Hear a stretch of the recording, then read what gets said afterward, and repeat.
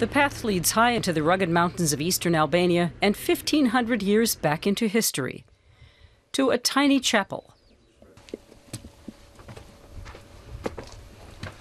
Art restorer Gentian Stratoberde and Orthodox priest Yanni Ranja come up here often.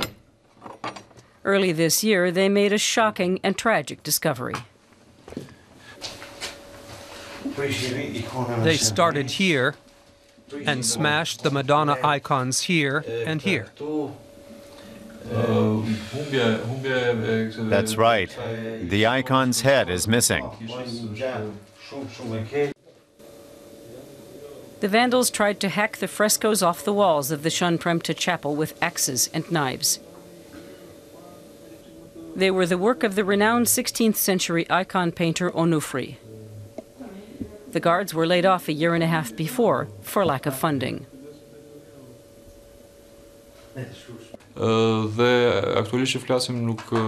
None of our cultural treasures are guarded. Over the past 20 years, countless churches have been plundered. This is just one example.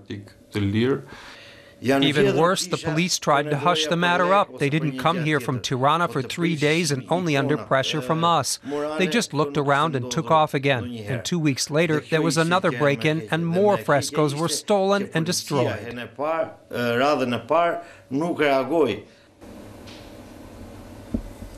The Institute of Cultural Monuments in the capital, Tirana, is trying to save what it can, piecing together what was left behind. And yet the Institute director, Apollon Bache, does not believe the authorities could have done any more to protect the cultural treasures in the first place. There's no clear jurisdiction. Here, unfortunately, we've got five or six agencies that share responsibility the police, the church, the conservation authority, the ministry. All of them share responsibility, and nobody's responsible. Many Albanians realize that. And in spring, a group of conservationists demonstrated in front of the Ministry of Culture, accusing Institute Director Bace and other agencies of indifference and corruption. Protest organizer Auron Tare shows some of the results of what he terms the government's negligence. In the city of Durrës, for example, is the largest preserved Roman amphitheater in the Balkans, dating back to the second century but the city let developers build villas right on top of it.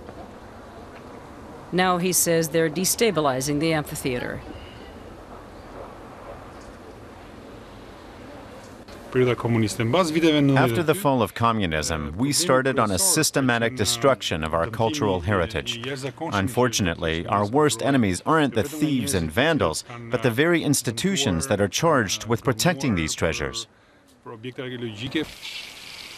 Tare and some volunteers are taking it upon themselves to stop the destruction, both on land and underwater. Plunderers have even raided archaeological sites in the Adriatic Sea.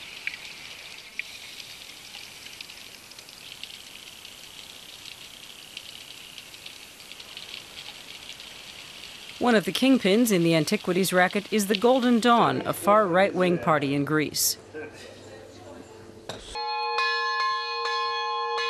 An Orthodox priest calls believers to worship. The Greek extremists haven't been here yet, or they would have scraped off all the faces in the frescoes, trying to make it look like the work of Muslims, as some experts claim. Gentian Stratoberde is hoping the newly elected government will make good on its promises to protect Albania's cultural treasures.